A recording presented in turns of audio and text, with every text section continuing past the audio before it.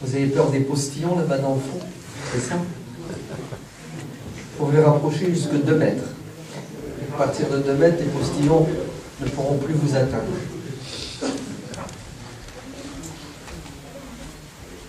Voilà, c'est mieux. Alors, est-ce que vous savez pourquoi c'est mieux? Non? Pour entendre, non.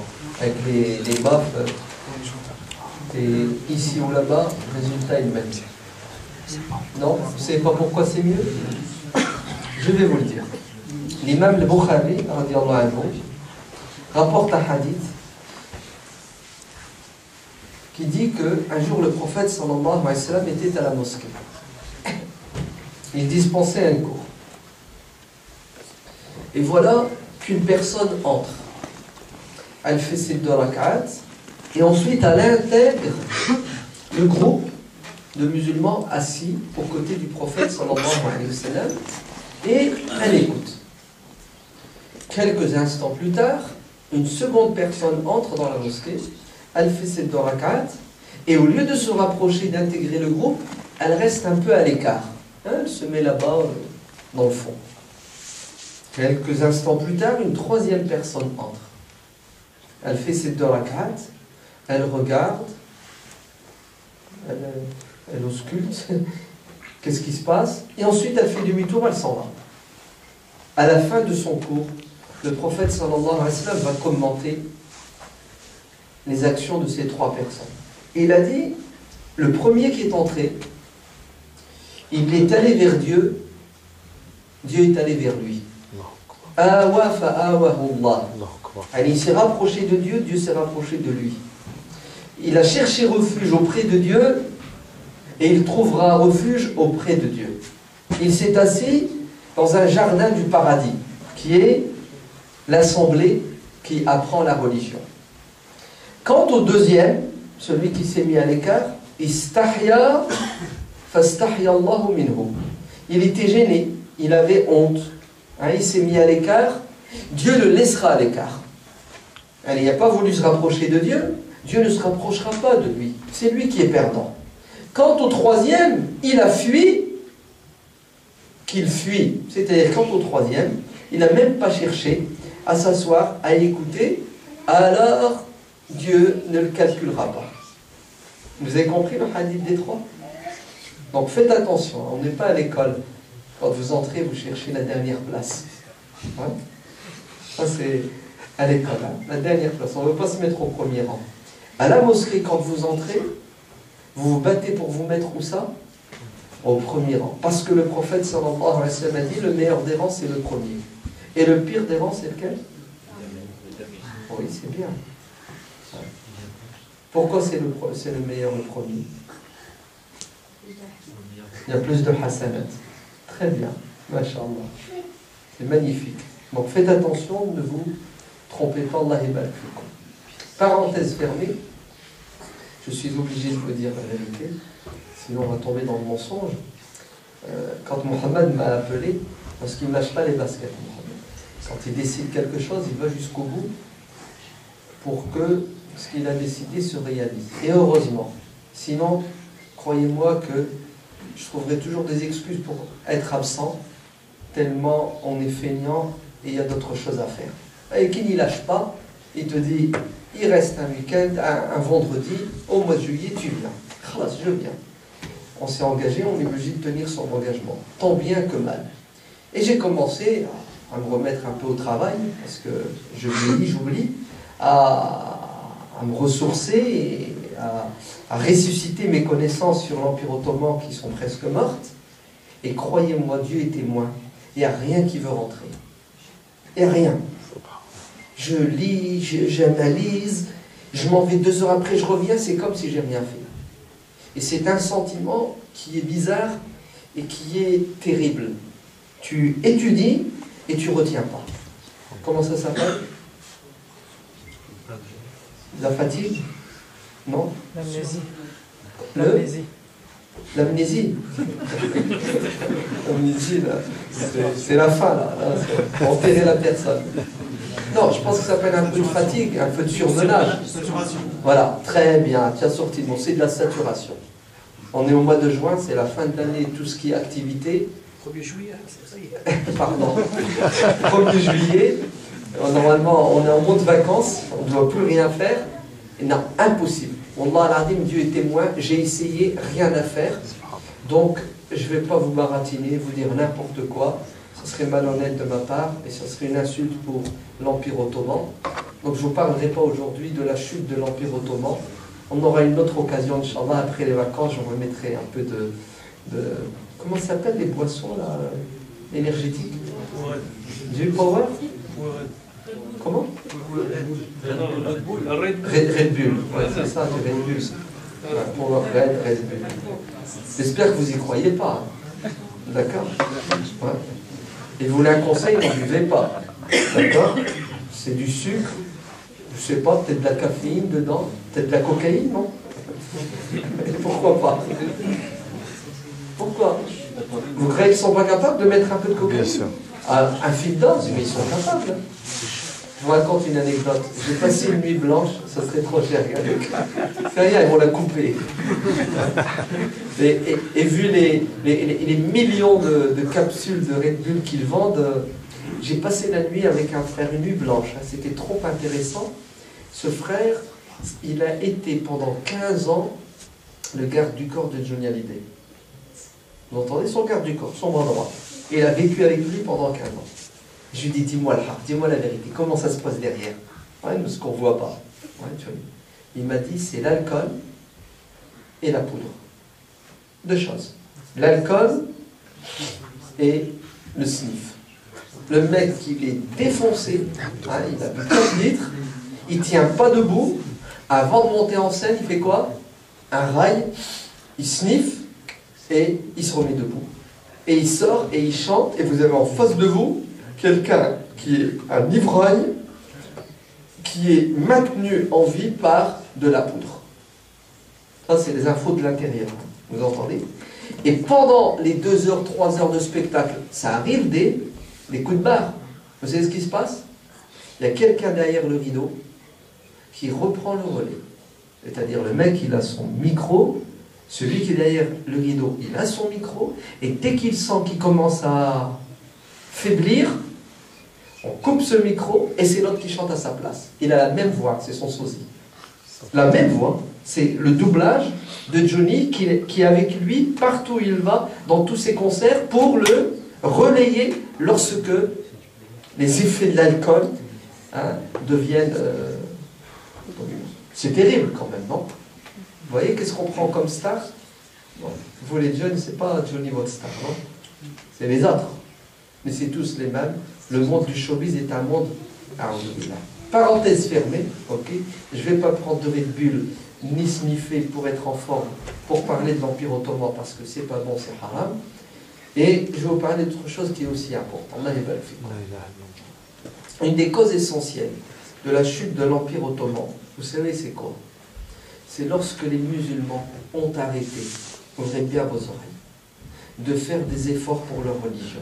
Lorsqu'ils ont été atteints par une maladie qui s'appelle Al-Wahm, qui est l'amour excessif de la vie d'ici-bas, l'amour des plaisirs haram, et la peur, ou plutôt le rejet d'une vérité incontestée qui est, après la mort, il y a une vie, une vie qui sous-entend bien entendu le jugement. Ainsi, les musulmans, quand ils ont oublié l'au-delà, quand ils ont eu peur de mourir, ils sont tombés dans une mare de boue qui s'appelle la dunya. Vous vous souvenez, hein la cigarette entre, l'alcool s'installe. On arrivait à un moment donné dans l'Empire ottoman où vous aviez les ministres, même certains califes qui étaient des alcooliques, des ivrognes. Même les janissaires ont atteint un moment donné de l'histoire euh, un niveau où ils n'étaient plus en état de combattre parce qu'ils étaient détruits par l'alcool et les drogues. Résultat, lorsque les musulmans ont laissé tomber l'effort, comment on dit l'effort en arabe? El-Juhd. Il y a, il y a le Juhd, il y a ouais, le jihad, euh, quoi encore? Donnez-moi des synonymes. Juhd, jihad, Al-Tadhiya, le sacrifice. Il y a plein de synonymes. Mais le, le mot qu'utilise le Coran, c'est le terme jihad. Vous entendez? Faire des efforts, à tous les niveaux. Lorsque les musulmans ont laissé tomber l'effort pour la religion, ils se sont affaiblis, Shaitan a pris le dessus sur eux, et les diables humains, les ennemis, ont pris le dessus sur eux. Tout simplement. Je vous résume, hein Vous entendez? C'est notre faiblesse qui a poussé à quoi? À la disparition de notre civilisation millénaire. Quelles leçons devons-nous tirer de ce qui est arrivé aux Ottomans? Quelles leçons? Un, si on passe notre temps à nous amuser comme des ciganes, à chanter, à danser, à regarder euh, ce qu'il ne faut pas à la télé ou sur Internet, non, mieux. Si on passe notre temps dans l'oisiveté, c'est-à-dire on s'ennuie si bien qu'on tue notre temps. On ne sait pas quoi faire, on n'a pas de projet, on n'a pas de programme, on n'a pas d'objectif. Hein, si on se réveille le matin et on ne sait pas quoi faire de la journée, l'année passe et on n'a réalisé aucun projet significatif, sachez que jamais la communauté musulmane ne pourra connaître des moments meilleurs. C'est impossible. Tout est dans la prise de conscience de notre responsabilité. Le grand Shir Saïd Hawa, quand il a parlé des conditions pour le renouveau, et comment les musulmans peuvent-ils ressusciter parce qu'ils sont morts? Il a dit il faut cinq points. Le premier, il a dit la science, la connaissance et le savoir. Deuxième point, ouvrez bien vos oreilles. Il a dit prendre conscience de l'importance du temps et développer une bonne gestion du temps. Vous vous rendez compte? Une fois que tu as compris que tu sais, tu dois travailler avec quoi? Avec des programmes, avec des objectifs. Tu ne dois pas perdre ton temps. Tu dois être un constructeur. Vous entendez? Tu as un projet, il faut vite le mener. Si vous, les jeunes, vous n'avez pas encore pris conscience que vous devez en permanence nourrir votre cerveau, et la nourriture du cerveau, c'est le savoir. Vous ne devez absolument pas vous contenter du savoir qui vous est dispensé à l'école, à l'université. Ça, c'est pour avoir un diplôme. Mais vous devez développer vos connaissances dans tous les domaines au quotidien, à travers la lecture, à travers l'échange, à travers la réflexion. Le jour où notre jeunesse va à nouveau retrouver cet engouement pour le livre et la lecture, là on pourra dire qu'on a fait le premier pas pour nous développer.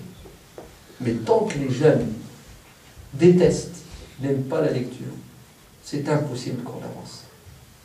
Regardez, on est le 1er juillet, le début des vacances. Certains vont sans doute partir avec leurs parents en voiture, trois jours, quatre jours, et ils s'ennuient, ne savent pas quoi faire. Prenez avec vous des livres en lisez sur la route. Au cours de l'année, vous n'avez peut-être pas le temps pour lire le Coran, pour lire des hadiths. Maintenant, vous avez le temps. Il n'y a pas d'école, il n'y a pas d'examen.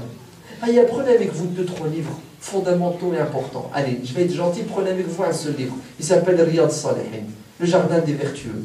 Et passez 15 jours, 3 semaines, un mois avec le prophète sallallahu alayhi wa sallam. Le prophète va vous parler. Et les paroles du prophète sont une lumière pour les cœurs. Et lisez, lisez ce que le prophète a dit. Vous allez vous imprégner de ce qu'il a dit, ça va vous transformer, vous changer. Certains ne vont peut-être même pas partir, ils vont rester ici. Et déjà maintenant, ils se plaignent. Je m'ennuie, qu'est-ce que je vais faire pendant un mois? Dis Alhamdulillah, Allah t'a donné un mois de temps libre. À toi d'exploiter ce temps libre de la manière la plus intelligente. Et la, meilleure façon de l'exploiter, c'est de vous adonner justement à l'étude de votre religion. Car la dunya, ça fait 11 mois, 10 mois qu'on lui a donné son dû. Hey, allez-y maintenant. Vous n'avez pas le temps durant l'année d'apprendre des versets du Coran, apprenez-les maintenant. Le prophète sallallahu alayhi wa sallam a dit à des musulmans qui étaient dans le besoin, ceux qui vivaient dans la sofa, il leur dit, est-ce que vous aimeriez aller à l'autre bout de la ville de Médine et vous y trouvez deux chamelles bien grasses qui ont de la valeur? Ils ont dit, prophète, vu la situation dans laquelle on est, bien sûr que c'est notre rêve. T'as rien. Et je te dis, écoute, tu vas euh, au parc du Héron, tu vas trouver, euh, je sais pas moi, deux. Comment? Lamborghini C'est ça? Bref, deux voitures qui valent chacune 200 000 euros. Ça fait 400 000 euros. Avec les clés, l'assurance. Quelqu'un qui est dans la galère, tu lui dis ça. Il est heureux, il n'est pas heureux? Il est heureux. Il rêve que de ça. Tu sors de sa galère, en plus sans effort. D'accord C'est un cadeau. Vous savez qu'est-ce qu'a dit le prophète sallallahu alayhi wa sallam après avoir mis l'eau à la bouche à ses compagnons qui sont dans une situation économique catastrophique? Ils sont nourris, pris en charge par la communauté. Vous savez ce que leur dit le prophète? Il leur dit c'est votre rêve, vous aspirez à cela. Bien sûr, prophète. Et il a dit alors il y a mieux que cela. Il y a mieux que cela. Et pour un pauvre qui n'a rien, il y a mieux que trouver un trésor. Vous savez ce que va leur dire le prophète Il va leur dire faire ce chemin pour aller apprendre deux versets du Coran, c'est mieux que de faire la route pour trouver ce trésor. Vous vous rendez compte? Vous savez ce que ça veut dire? C'est-à-dire, pour vous les pauvres là, qui aujourd'hui n'avaient pas de travail, profitez-en pour apprendre le maximum, car il viendra un jour où, matrafouche, vous allez trouver du boulot. Et ce jour-là, vous n'aurez plus le temps pour apprendre un verset du Coran. Un, vous avez du temps, vous êtes disponible, il y a des gens qui sont à votre service pour vous enseigner le Coran, apprenez-le, c'est mieux pour vous que de gagner des sommes extraordinaires parce qu'il viendra un jour où vous ne pourrez pas. C'est ça que ça veut dire. Vous avez un mois de vacances, deux mois, allez-y. C'est maintenant que vous devez faire l'effort pour apprendre et étudier le maximum, car peut-être après au mois de septembre, vous voudrez et vous ne pourrez pas, ou peut-être dans dix ans, vous aurez l'envie et vous ne pourrez pas. Allah fait comme les chaînes. On ne va pas le répéter sans cesse. Vous êtes assez intelligent pour comprendre. Faites de la lecture votre passe-temps. Non, c'est plus qu'un passe-temps. Ça doit devenir quelque chose que vous faites avec amour, avec passion, avec envie. Je vous raconte une histoire. L'histoire de Salah ibn Ali. Vous la connaissez? Non? Levez la main. Ce que j'ai tellement raconté que peut-être je vous l'ai déjà raconté. Non? Jamais entendu? Très bien. Accrochez-vous à votre tapis. Vous êtes prêts? Salad ibn Ali, il a 18 ans. C'est lui qui raconte son histoire. Il a 18 ans. Il dit, comme tous les enfants, à Bagdad, au 3e siècle, je suis allé à la maternelle, j'ai appris l'arabe, le Coran, fin primaire, le Coran est assimilé, la langue arabe, les sciences religieuses et les sciences profanes. Il fait des maths. Oui, oui. Il fait de l'histoire, de la géographie. Et il a une passion pour une science qui s'appelle l'astronomie. L'astronomie.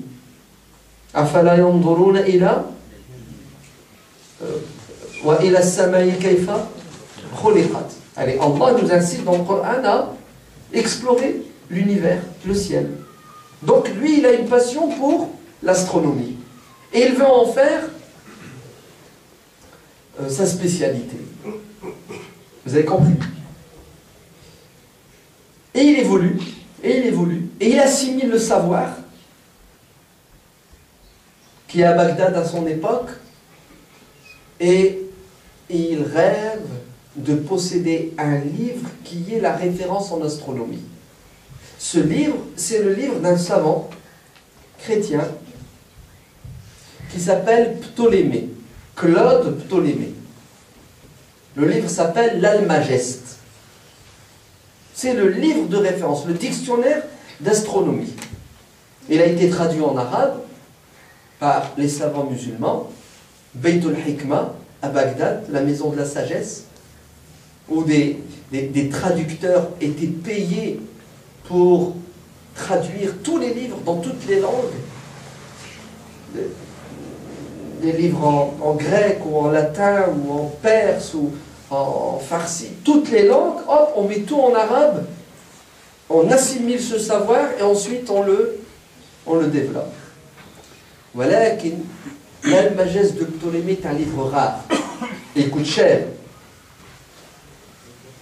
Et Salah ibn Ali avait l'habitude d'aller dans le quartier des libraires. Car à Bagdad, vous aviez des quartiers. Le quartier des forgerons, le quartier de ceux qui vendent les épices, le quartier des libraires. Et il allait souvent là-bas, il faisait les librairies pour voir les nouveautés. D'accord? On dirait aujourd'hui, toutes les semaines, il allait au furet. Et un jour, Allahu Akbar, il tombe sur un exemplaire de l'Almageste. Oh là là, je vous dis pas la joie, l'extase. Il est aux anges. Il dit au libraire combien il coûte? 200 euros. Aïe, aïe, aïe, c'est chaud. Voilà, 200 euros. Il dit, mets-le de côté, je reviens. il rentre chez lui, tout excité, il interpelle son père, lui dit, papa, j'ai trouvé un trésor. Il dit quoi? Il lui a dit, l'almagès de Ptolemy, il me le faut, coûte que coûte. Il lui dit, mon fils 200 euros. Aïe, aïe, aïe, aïe. Fiston, tu sais très bien que 200 euros, c'est ce que je gagne par mois et je dois nourrir toute la famille. Ça va être difficile patiente, je vais faire des économies, et dès que j'ai la somme, je te l'achète. Il prend son mal en patience. Toutes les semaines, il passe à la librairie. L'Almageste est toujours là. Il supplie le libraire de ne pas le vendre en attendant qu'il trouve l'argent. Le mois passe, papa n'a toujours pas réuni la somme. Le mois suivant passe, toujours pas assez d'argent. Il souffre. Vous entendez? Il raconte. Hein il dit qu'il craignait que le livre ne disparaisse. Et un jour, son père l'appelle, il lui dit Fiston, prépare la monture. Tu vas m'accompagner. J'ai une invitation à l'autre bout de Bagdad. Bagdad, c'est une ville très grande, un million et demi d'habitants. Il prépare sa monture, vous savez, le cheval, la selle, le mort, les brides, etc., tout ce qu'il faut. Et il dit à son fils, tu vas m'accompagner, tu vas me déposer là-bas, et tu reviens avec la monture, je rentrerai plus tard avec euh, d'autres personnes. Le fils, il est obéissant, il sort la voiture du garage, il accompagne son père, arrivé chez, chez euh, la personne qui l'invite, il dépose son père, et il fait des mutours, et ouvrez bien vos oreilles maintenant. Au lieu de rentrer à la maison, il se dirige vers le quartier où on vend le bétail. Arrivé là-bas, du haut de son cheval, ohé, ohé musulman, qui veut acheter un, cheval? Avec sa selle, avec sa bride, ses brides, avec son morse pour 200 euros. Il y a eu foule, il a vendu le cheval, il a pris les 200 euros, il a piqué une pointe, il est allé où? À la librairie. Il a donné les 200 euros au libraire, il a pris le livre, il pique une pointe, il va chez lui, il rentre chez lui, il va dans la cuisine, sa mère, elle était en train de préparer le déjeuner, et vous savez ce qu'il lui dit? Il lui dit, maman, voilà ce que j'ai fait, voilà ce que j'ai fait, voilà ce que j'ai fait, tu débrouilles avec papa, tu le calmes, si jamais vous faites quelque chose, je fugue. Il lui dit ça, il met une virgule, il lui dit Maman, je vais dans ma chambre, je m'enferme dans ma chambre, j'étudie la magesse de Ptolémée, je ne veux plus être dérangé, tu me déposes mon repas, oubliez-moi. Il monte dans sa chambre, il ferme la porte à clé et il plonge dans l'univers de l'astronomie. La mère Mskina, vous savez euh, qu'elle retrouve euh, ses esprits, parce qu'elle a reçu quand même un choc, elle appelle son petit frère, Abdullah, elle lui dit Va, ton père est à tel endroit, tu l'interpelles, tu lui dis dans son oreille de rentrer d'urgence, parce que Sanad, voilà ce qu'il a fait, voilà ce qu'il a fait. Le gosse il s'en va, quelques heures plus tard il arrive à l'endroit, il trouve son père, il lui chuchote dans l'oreille le malheur qui vient de le frapper. T'imagines? Tu prends l'espace de ton père et tu le vends 100 euros pour acheter une paire de baskets. C'est pas une catastrophe pour ton père, mais tu vois sa place. Vous savez ce qui se passe? Le père de Sanad, Ali, il devient rouge, bleu et vert. Catastrophe. Et ça ne passe pas inaperçu. Le maître de maison, vous savez, celui qui, reçoit ses invités, comment on l'appelle? Le problème en français, c'est que le terme il est ambivalent. il signifie celui qui reçoit les invités, il signifie aussi les invités. les deux. il a les deux sens. Le sens. Un sens et son contraire. Il est ambivalent. Comme le verbe louer. Je loue, ça veut dire j'ai une maison et je te la loue à toi, ou c'est moi qui loue ta maison. Mais en français, il y a quand même un terme euh, pour désigner celui qui invite les gens. Quelqu'un qui le sait? J'avais raconté cette histoire il n'y a pas longtemps et j'ai dit celui qui me trouve le terme, je lui donne 100 euros. il va pianoter Galec. Il y en a, il va essayer de le faire. Il a sorti son, son téléphone, tout de suite il s'est branché, mais je l'ai capté. L'anti-sèche, ça n'a pas marché. Ah, il y a 100 euros, celui qui me sort le nom. C'est un nom connu bon. si, je donne, si je donne des détails, c'est 10 euros. Alors, comment s'appelle celui qui invite les gens? 100 euros. Un inviteur. Un, invitateur. Il y en a, il m'a sorti ça. Un invitateur. A tout a fusé, tout est sorti. Wallah, il doit retourner le verbe inviter dans tous les sens. Ça vaut le coup quand même, 100 euros. Après, j'ai augmenté les enchères et j'ai fini avec 1000 euros. Faut dire que j'étais sûr que personne n'allait trouver. Il y a des limites à la folie quand même. Vous avez entendu ce qu'il a dit? Vous n'avez pas entendu. Il vaut mieux pas que vous l'entendiez. Alors, vous avez vu les jeunes? Le maître de maison, c'est le maître de maison. Mais le terme qui spécifie celui qui invite quelqu'un, il est. En fait, il faut avoir fait un peu de, grec aussi. Hein, pour bien. si vous voulez maîtriser le français, il faut étudier le latin et le grec. Et vous allez voir que vous allez comprendre beaucoup, beaucoup de, mots, et même vous allez apprendre du vocabulaire. Hein, tout est dans le latin et le grec. Parce que là, le français, c'est quoi? Comment? Moi, je dis que le français, c'est une langue latine. Tout à fait, c'est une langue latine. Exactement. Moi, je me souviens quand on était jeune, quand on arrivait en quatrième, qui prenait option latin-grec, c'était que la crème, l'élite, les, fils de, de, médecins, etc. Nous, on ne pouvait pas. Nous, moi, j'ai fait du latin, je ne fais pas partie de l'élite, mais c'était connu. Ceux qui faisaient latin-grec, et c'est vrai parce que c'est du travail en plus déjà, c'est pas évident, et automatiquement, tu deviens un littéraire parce que tu maîtrises mieux le français après. Les jeunes parenthèses. Vous avez vu?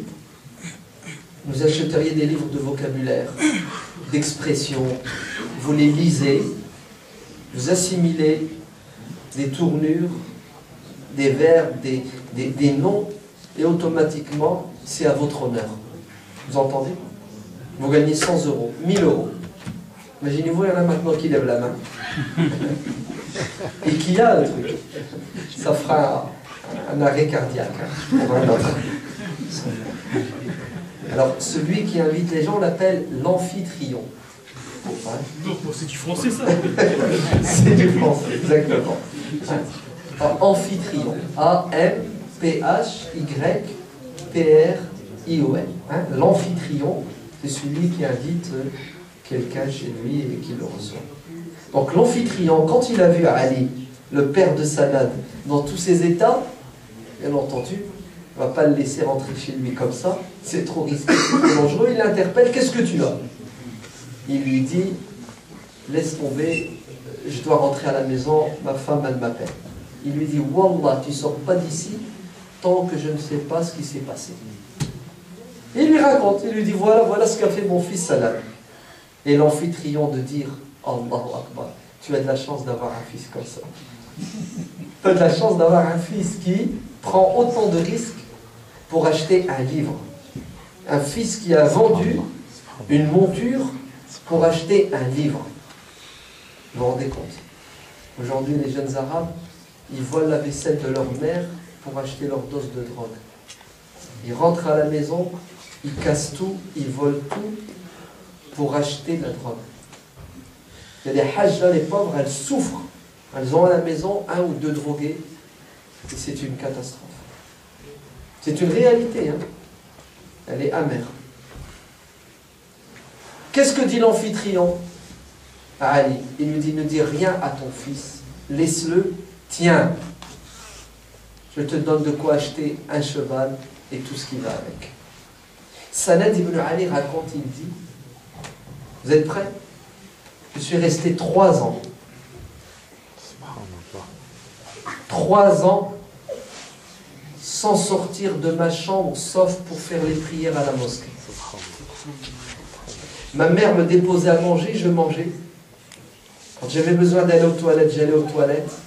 J'ai passé trois ans de ma vie à étudier, analyser et corriger l'Almagès de Ptolémée. À 21 ans, Sanad ibn Ali sort de sa caverne et il va à la rencontre de qui?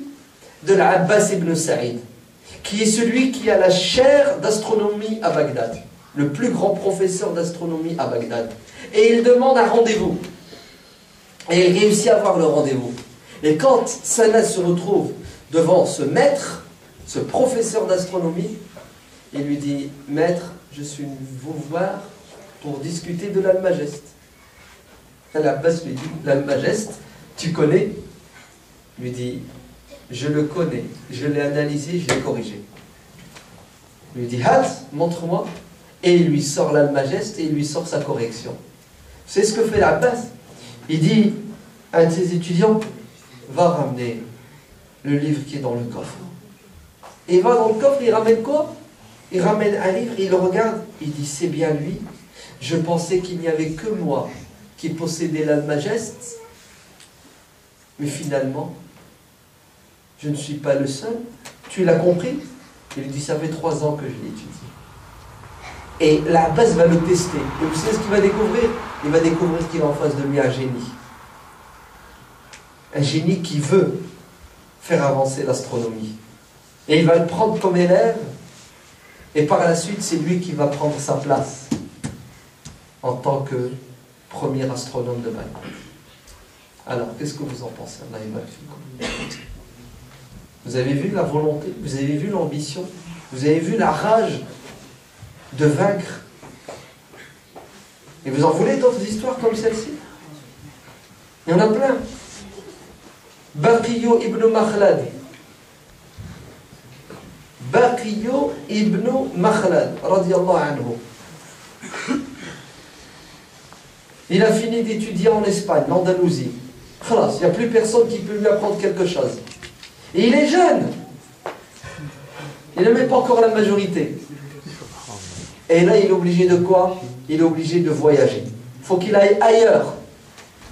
Et il va aller où, à votre avis? Il va aller à la capitale intellectuelle du monde de l'époque, qui s'appelle Bagdad.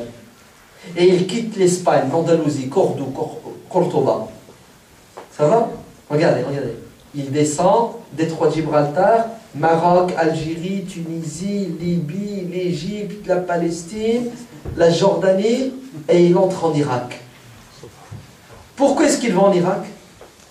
C'est le centre intellectuel du monde musulman, mais aussi parce qu'il a comme projet de devenir l'élève du plus grand savant de l'époque dans le domaine de la science du hadith, de la transmission du hadith, le grand imam Ahmad ibn Hanbal qui est mort en l'année 254 de L'imam Ahmad, le, le grand imam Ahmad. Vous vous rendez compte le trajet À pied, hein À pied. Il va devoir s'arrêter en Tunisie à Al-Qayrawan. Parce que justement, il va perdre ses deniers. Et là, il va apprendre un cher. Et quand il va se refaire une petite santé financière, il va continuer son chemin. Et il s'arrête en Égypte. Et lorsqu'il arrive à Bagdad, il est heureux. Mais le malheur va le frapper. À votre avis, c'est quoi le malheur qui puisse frapper cet homme? La pluie La grêle? Vous savez, c'est quoi le malheur? C'est que lorsqu'il arrive, lorsqu'il arrive à Bagdad, il apprend que l'imam Ahmad ibn Hanbal est en résidence surveillée. Il n'a plus le droit de donner cours à la mosquée. Interdit. Ça fait six mois qu'il galère pour atteindre son objectif et quand il arrive à Bagdad, khalas. Il ne pourra pas être l'élève de l'imam Ahmed. Pourquoi? Parce que l'imam Ahmed a fait de la prison. L'imam Ahmed est en résidence surveillée car il a osé dire non au calife qui voulait imposer aux savants musulmans de penser et de réfléchir comme lui il pense et comme il réfléchit avec quelques savants qui le soutenaient qu'on appelle Al-Mu'tazila. Et les savants musulmans se sont soulevés contre cette dictature de la pensée en disant non, non, non, non. Un savant, tu ne lui dictes pas comment il doit penser. C'est lui qui pense, qui réfléchit, et ensuite il dispense son savoir. Il y a de la répression, il y a même de la prison, il y a même des exécutions. Vous vous rendez compte?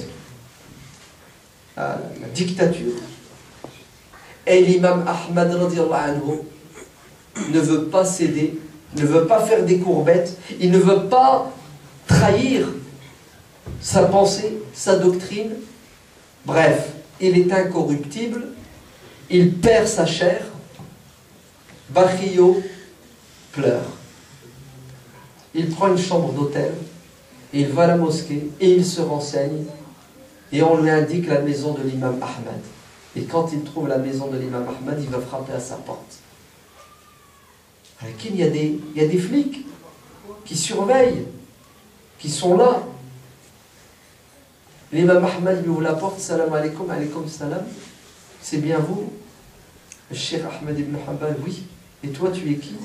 Je suis Baqi ibn Makhlad. Te connais pas. Tu viens d'où? Il lui dit, je viens de l'autre côté de la mer. Bahr la mer Méditerranée. Il dit Quel bon vent t'amène? Il dit Je suis venu pour ton savoir. Il a dit Ah, mon fils, je suis désolé. Ces gens-là ne veulent plus que la vérité soit dispensée. Je ne peux rien pour toi. C'est ce que lui dit Barillon. Il lui a dit Maître, je n'ai pas fait tout ce voyage pour repartir sans ton savoir.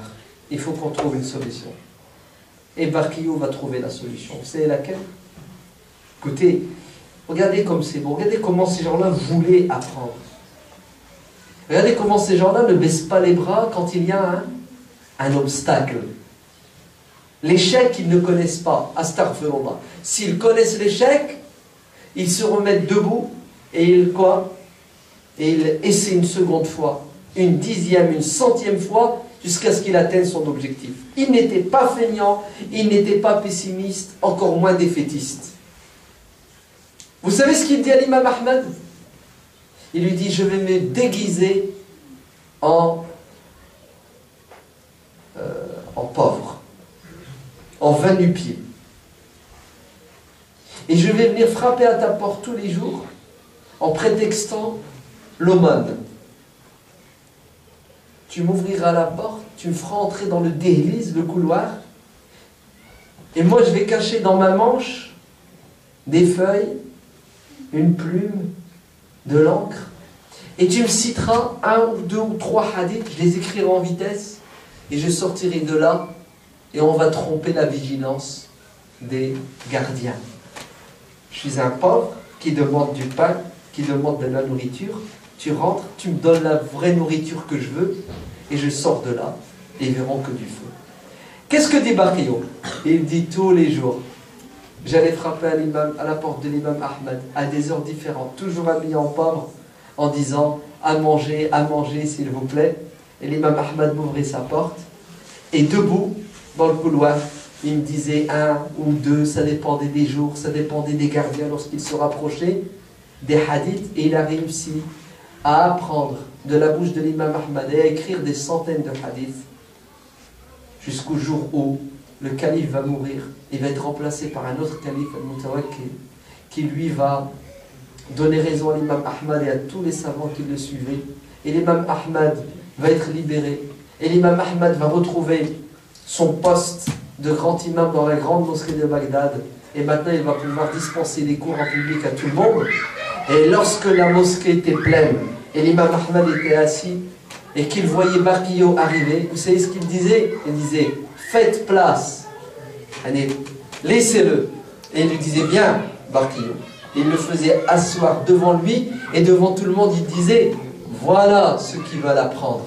Et il racontait son histoire à chaque fois. Voilà d'où il est venu, voilà ce qu'il a fait, voilà ce qu'il a risqué, voilà. Ça, ce sont des gens qui, qui quoi Qui vont aller loin. Et un jour, Barquillo est absent. Il n'est pas là. L'imam Ahmad demande à d'autres étudiants, vous n'avez pas vu, il est où? Et on va lui dire que Barquillo est, est cloué au lit à cause d'une fièvre fulgurante qui l'empêche de se mettre debout. Attention, hein, pas il a un rhume, il a mal à l'orteil ou un cheveu, il vient pas. Non, non, c'est il est KO. Vous savez ce que fait l'imam Ahmed? Regardez. Il arrête son cours. Et il se met debout il dit Allons lui rendre visite. Vous avez vu? Il faudrait peut-être que je vous explique qui est l'imam Ahmed. L'imam Ahmed, c'est. Ok. Juste après, c'est quoi? C'est. J'ai pas entendu. Juste après l'imam Ahmed, c'est. Non, le soleil. Il n'y a, plus personne au-dessus de l'imam Ahmed à son époque. C'est le plus grand ça. Vous savez combien connaissait l'imam Ahmed de hadith? Vous allez tomber par terre, je vais vous dire le chiffre. Et hadith, vous savez ce que ça veut dire? Ça veut dire ce que le prophète a dit, ce que les compagnons ont dit, ce que les tabi'in a dit. Hein, le terme hadith, à cette époque-là, signifiait tout ce qui est rapporté par les premières générations. Ouvrez bien vos oreilles. Vous êtes prêts? L'imam Ahmad vous connaissez alf alf hadith. Les Arabes ne connaissaient pas le terme million. Ils disaient alf alf, mille fois mille. Oui. Et il nous a laissé parmi ses livres un livre qui s'appelle le Mousnad. Le Mousnad, des centaines de milliers de hadiths. C'était un ordinateur, Pentium 5. Ouais. Tu fais ça et il débite. Une sommité intellectuelle. Trop fort, trop beau, trop puissant. L'imam Ahmad dit pas de cours aujourd'hui. Allons rendre visite à qui? Un homme extraordinaire. Barqiyo ibn Makhlad. Et ils y vont. Ils sont combien? Ils sont des centaines. Attendez, ils y vont tous avec leur cahier leur stylo. Parce que l'imam Ahmad était suivi 24 heures sur 24, quand c'était possible, par ses élèves, il notait tout ce qu'il disait et tout ce qu'il faisait. Et quand l'imam Ahmad rentre dans l'hôtel, qu'est-ce qui se passe? C'est l'imam Ahmad, c'est l'imam Ahmad, branle-bas de combat. Où est Barquillo Il est au premier étage, chambre 225. Et tout le monde essaie de rentrer. Et quand il arrive dans la chambre de Bakrio, la chambre, Bakrio raconte, il dit il n'y avait plus de place, tout était rempli, ils étaient tous avec leurs plumes et leurs stylos, ils attendaient que l'imam Ahmed parle. Et l'imam Ahmed va parler. Et vous savez, la dua qu'il va lui faire, ils vont l'écrire. Elle nous est rapportée aujourd'hui. Et il lui dira ne t'afflige pas, mais ne sois pas triste. La maladie est suivie du remède et de la bonne santé. Bref, il l'a réconforté et ensuite il l'a quitté. Vous savez ce que va dire Barquillon? Il va dire une fois qu'il est parti, les responsables de l'hôtel sont venus me voir dans ma chambre et m'ont dit On ne savait pas que. Hein? On ne savait pas qui tu étais. Regardez ce qu'il dit. Il dit Et depuis ce jour-là, ils ont pris soin de moi plus que ma famille n'aurait pris soin de moi. il lui changeait les draps tous les jours. Il lui ramenait à manger pour la baraka de l'imam Ahmed. Et Bakio va rester à Bagdad. Et Bakio va assimiler le savoir de l'imam Ahmed. Et ensuite, il va quitter Bagdad pour revenir où? Après combien d'années? C'est pas un an, hein, ni deux. Je sais plus combien mais en tout cas, c'est 6, 7, 8, 10 ans. Et quand il revient à Cordoue, vous savez, il devient quoi? Il devient la référence.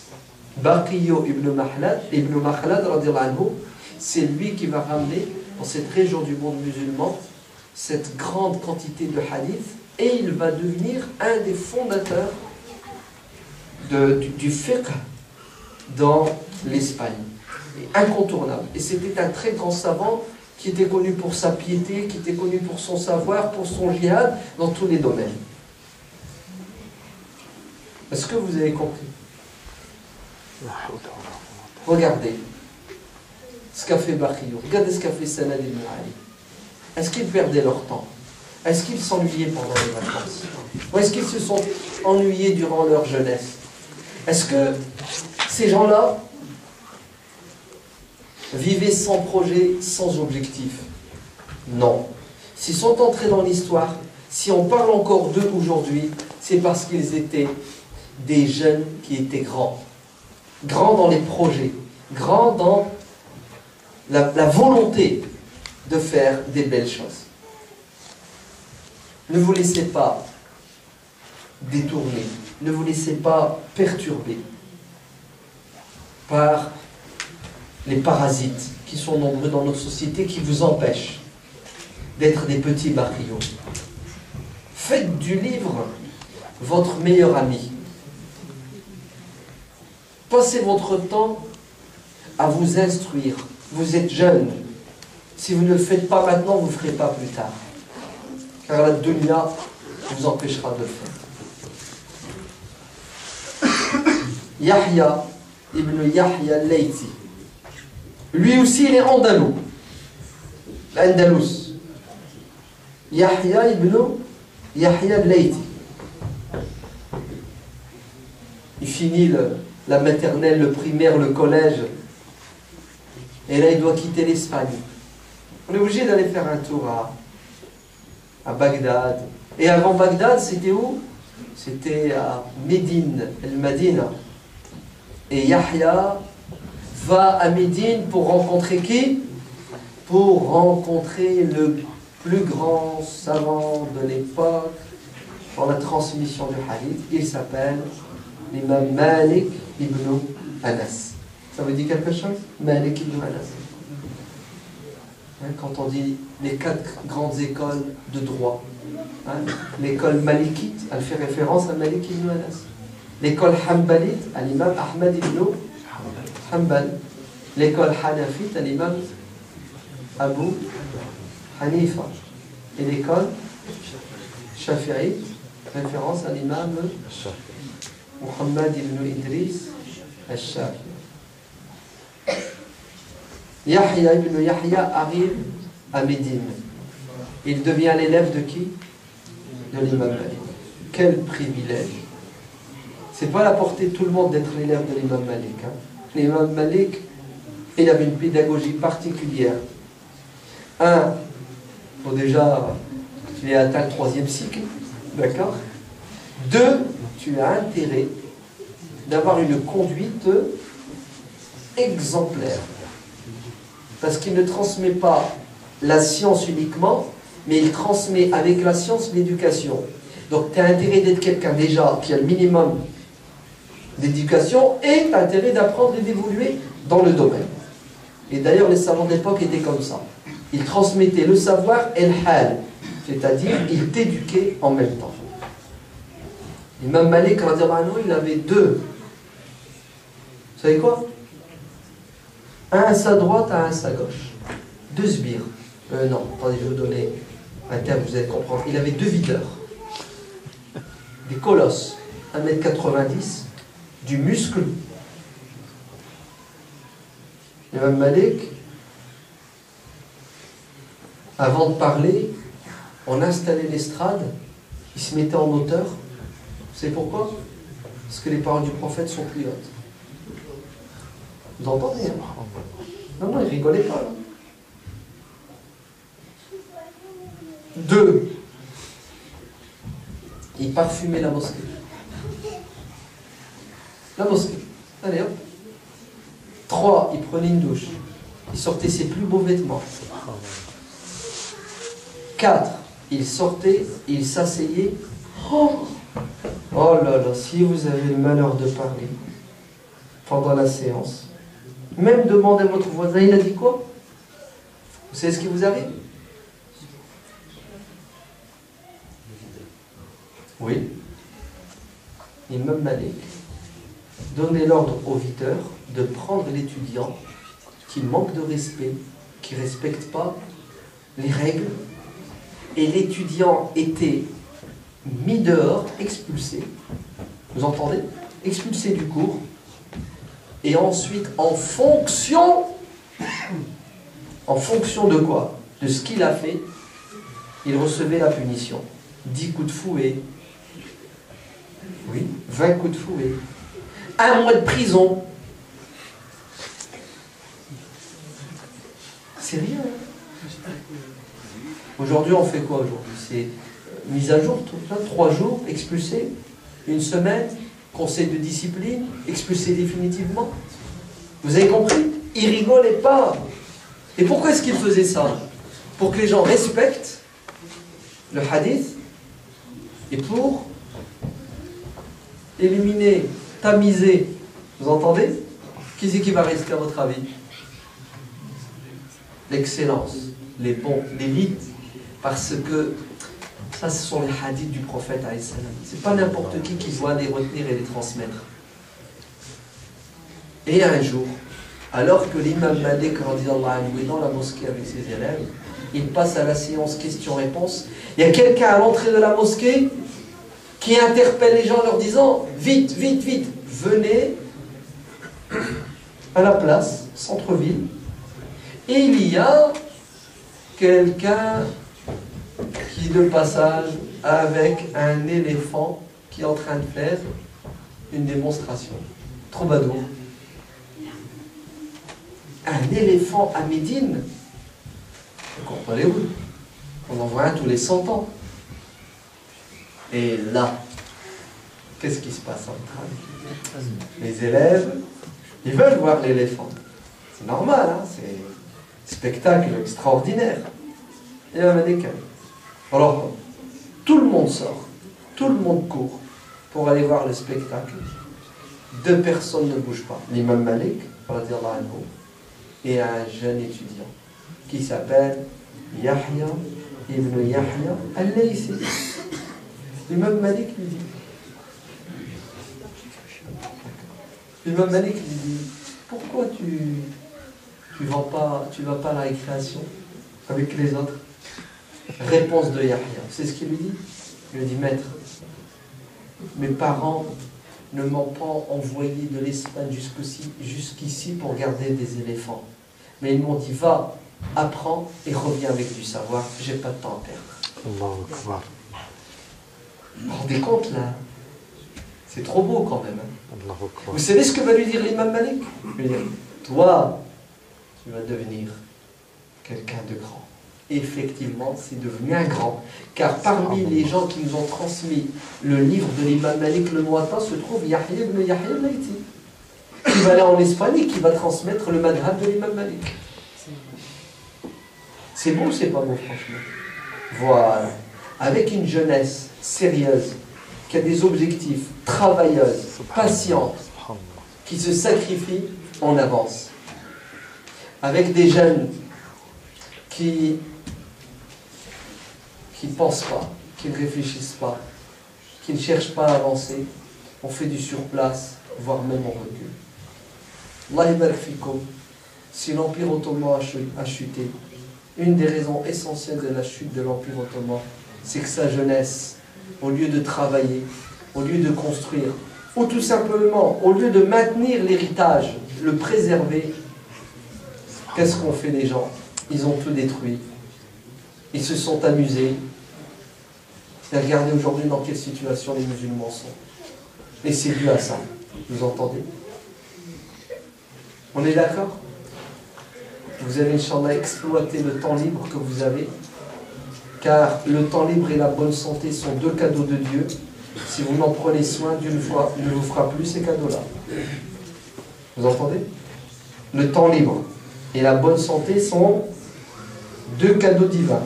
Soit vous en prenez soin, ou sinon, Dieu pouvait les retirer l'année prochaine.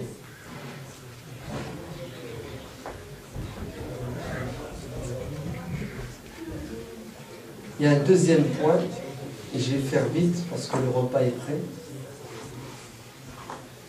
Vous avez remarqué, alhamdulillah, on s'est vu euh, dix fois cette année, premier vendredi de chaque mois, c'est une activité, alhamdulillah, bénite qui nous permet justement de nous rencontrer, d'échanger, qui nous permet de faire des hasanats, qui nous permet de nous accrocher à la mosquée. Cette activité, il faut qu'elle dure.